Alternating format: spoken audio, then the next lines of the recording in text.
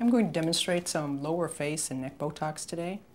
I'm going to show you some of the muscles that pull down, that relaxing these muscles that pull down actually can help give a little bit more strength to the muscles that pull up. It's almost a non-surgical facelift with Botox. We're going to start with the muscles that pull the corners of the mouth down. I'm going to show you how to judge whether this is going to benefit somebody to relax these muscles. And Jeannie, my model here, is going to put up with putting, going through these expressions on video to show us how to judge where these muscles are.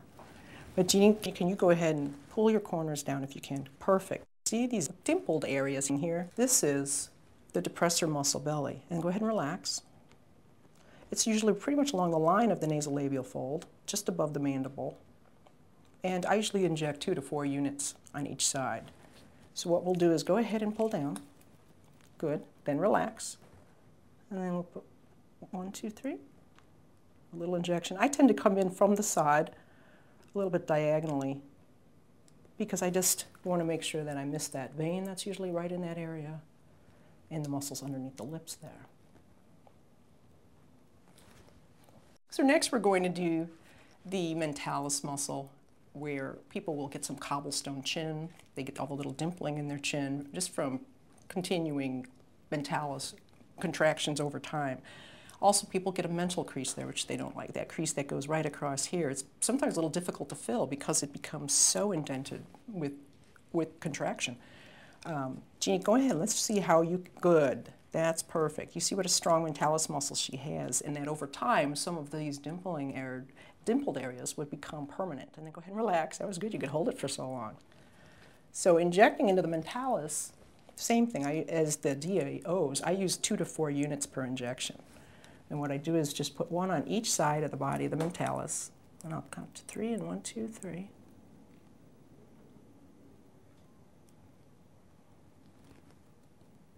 And then one, two, three.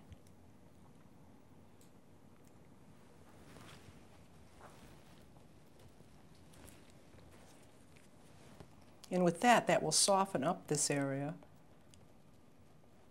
and yet not affect her speech.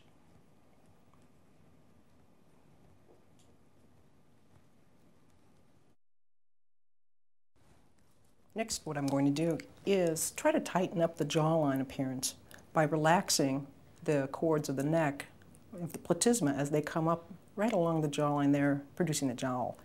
Go ahead, and give me a side contraction of your neck, kind of a bullfrog. You can localize the muscle, and then go ahead and relax just by having someone make the expression and then kind of pinching the muscle. While you're holding on to the muscle, you can inject two to four units. Here's a little pinch.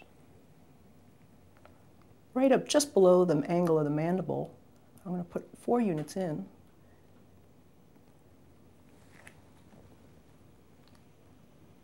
And if someone has a wide cord at this area, sometimes you put four side by side at the top of the cord. It just helps to localize it by feeling it between your fingers so you know you're right at the level of the platysma since it is such a thin muscle.